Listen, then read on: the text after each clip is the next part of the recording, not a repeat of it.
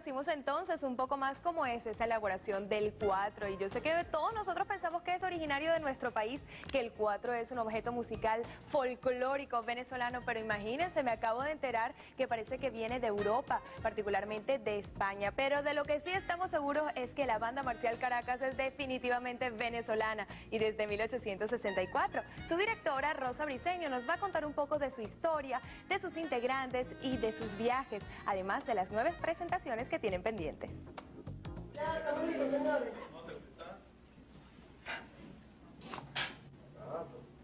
En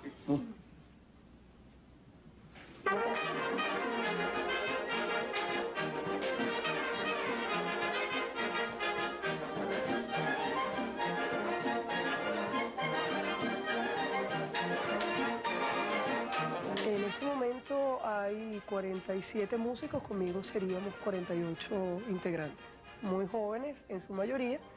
Eh, probablemente podrás observar que el perfil de la orquesta ha cambiado considerablemente. Antes esta era una orquesta que se caracterizaba por la gente canosa, no lo digo por mí, pero es, muy, es una imagen muy característica de la orquesta. Sin embargo, hoy hay bastante gente joven, el promedio de edades ha descendido considerablemente y yo creo que esa renovación se traduce en muchísimas cosas que, entre otras, seguramente ayudan a que venga otro tipo de público a nuestros conciertos.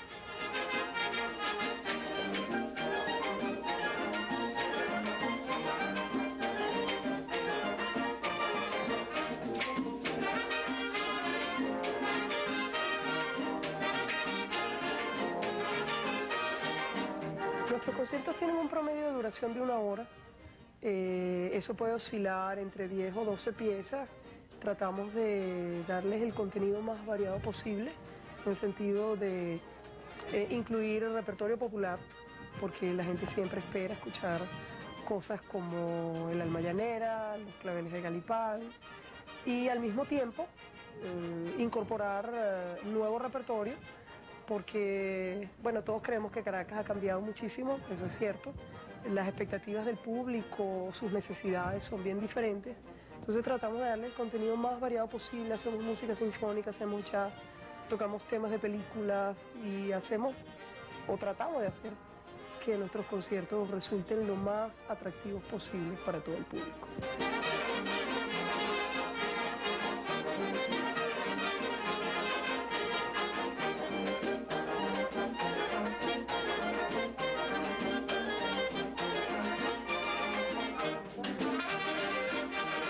Esta orquesta tiene 132 años de fundada.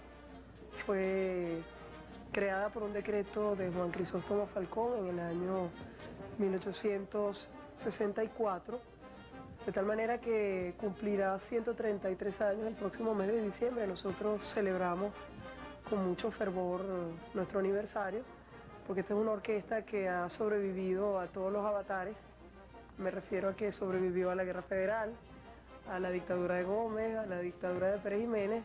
Y si Dios quiere, yo creo que sobrevivirá también a los problemas que tiene nuestra democracia y ojalá atraviese el umbral del nuevo siglo. A mí me ha tocado el privilegio de ser en la historia la primera mujer en ejercer la titularidad de esta orquesta.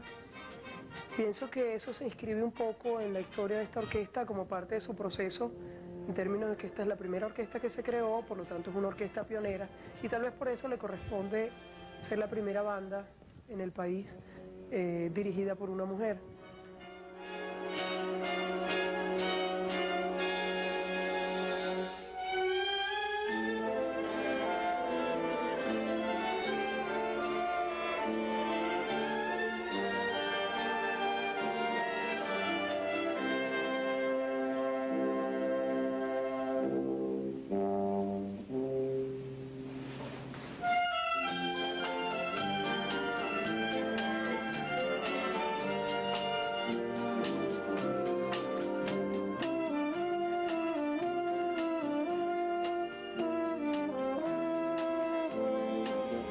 Muchísimas cosas, yo solo tengo tres años al frente de la banda Marcial Caracas.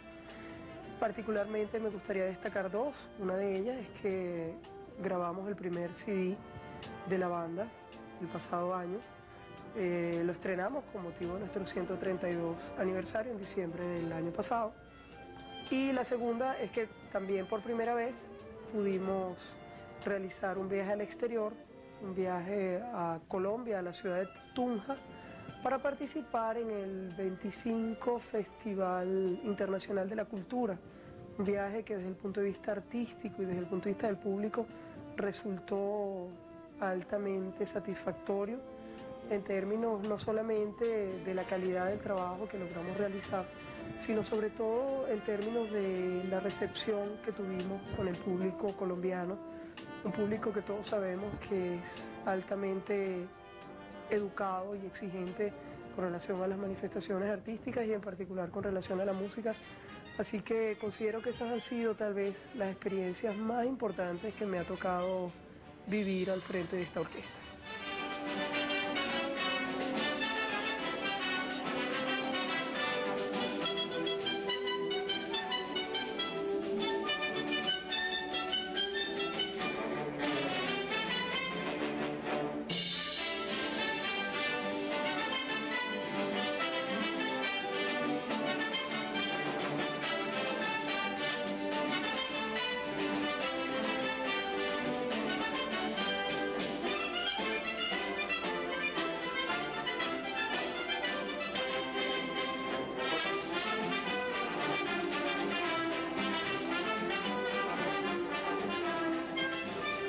Nosotros nos sentimos realmente orgullosos y especialmente nosotras las mujeres, porque Rosa es la primera mujer venezolana que dirige esta banda marcial muy prestigiosa en nuestro país durante tres años. Y yo sé que no solamente van a ser tres, sino muchísimos más, porque realmente posee un talento increíble. Y muchos de nosotros hemos disfrutado de esa banda, porque se dirige a todos los estratos sociales desde hace muchísimos años, tanto colegios, universidades, teatros muy prestigiosos de nuestro país. Pero realmente muchísima suerte y que siga Rosa Briseña al mando de esa gran banda. Bueno, ahora cambiamos de tema. Anabel logró entrevistar a un fotógrafo